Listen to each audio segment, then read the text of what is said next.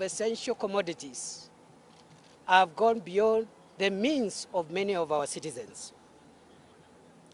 Millions of our people are living in crippling poverty. And corruption continues to thrive in public offices, even as, our people continue to suffer. I pledge to the millions of Kenyans who support the vision of a better Kenya presented by UDA and Kenya Kwanza that at this moment when our country is at the cups of change, that I will do my best to join our leader, His Excellency William Ruto, his deputy designate, the Honorable Rigathi Gachagua, and the rest of the team to ensure that we get victory in the election scheduled for 9th August 2022. I urge all of us in the party, in the rank and file of the party, to support that who supported my candidature, to support our team in order to deliver a decisive victory. We must therefore subordinate ourselves to the greater cause of the team. In my 12 years of public service before I joined politics, and subsequently my 10 years in politics, a total of 22 years, I have been inspired by the philosophy that I would rather not score, I would rather not score for a team that is going to win rather than to score for a team that is going to lose. For that reason, this philosophy has guided me to remain ruthlessly focused, resilient, and committed to the cause of overturning the ills that bedevil our country and making sure that Kenya Kwanza, through the leadership of William Ruto, is able to usher in an administration that reforms our economy to include as many Kenyans as possible on the economic table. Life, before I joined politics, and even in politics, by the principle never to run away from history. Instead, I have always believed in making history.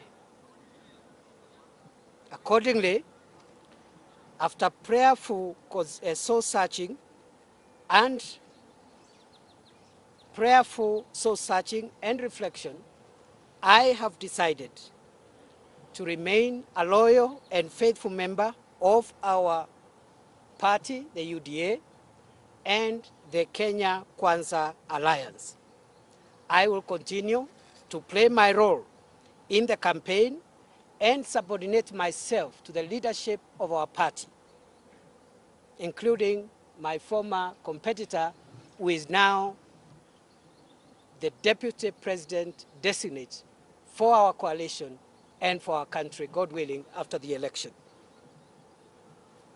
Ladies and gentlemen, for the remainder of the campaign period, I'll be available to offer my services even more robustly in the field and also in the boardroom, everywhere, to make sure that no vote that we can mobilize in our favor remains out there.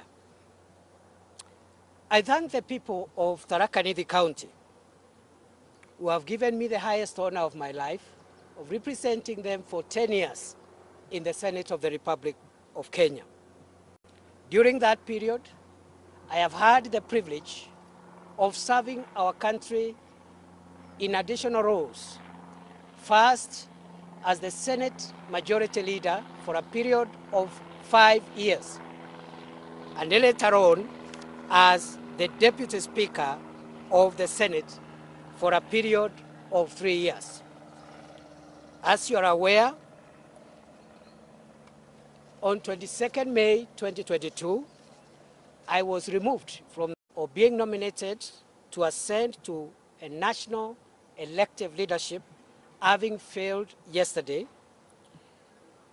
I have taken the decision to take a break from elective politics starting 10th of August 2022. I will use the break to reorganize myself as I continue to fully support my party, UDA, and Kenya Kwanza administration to deliver to Kenyans upon assuming office. Lastly, I am grateful to my colleagues in the party, especially the members of parliament, both National Assembly and Senate, who have been uh, a critical uh, uh, segment in this process that I've just explained. They did play a huge role in that process, and I know a good number of them did support my candidature. And as I said at the beginning, it is unlikely, and it's actually unprecedented, that a senator from a most unlikely corner of this country could get that kind of support from peers who come from far and wide. My colleagues, I am truly grateful. And I know, God willing, we will have an opportunity for me to make it up to you one day, and that day shall not be too far away. Finally, I have also reflected on how I will utilize my break, which break has been occasioned by the interruption of my career, which I have announced, has to occur from 10th August 2022. And after prayerful reflection and consultation, I have decided that I will not be seeking for any appointive position whatsoever. I will remain available to my country in future should an opportunity arise to seek leadership positions that may be available at the national level in the future. That future, I don't know when it will be. But for the moment, I am proceeding on a break. I will continue to reorganize myself. I will support UDA and Kenya Kwanza now and after the election, but I am not available to perform any functions of an appointive nature whatsoever so that that can allow me to live my dream. When I left the academia and when I left my profession some 10 years ago, I knew I would have had an illustrious career as a technocrat and as an, appoint, or an appointed uh, official. That was a decision I had made and I had been pushed by the desire to serve my country and apply my talents from the platform of elective politics. So I want to confirm that is my next step for those who have been asking what I'm planning and I'm sorry if I've disappointed anybody. I want to finish by saying I am very proud of myself. I am very proud of my supporters. I am very proud of my electorate. And I am very proud of how far Kenyans have traveled in terms of making it possible for any Kenyan to realize their dream and to contribute in the development of our country. I will not quit. I don't know the language of quitting. I'll stay put, I'll stay focused, I'll, stay, I'll, I'll stay loyal to my friends, I'll stay loyal to my party. And I'm not also quitting the political space. This is my country, this is my homeland, I am not going anywhere. And I believe this is the best country on earth.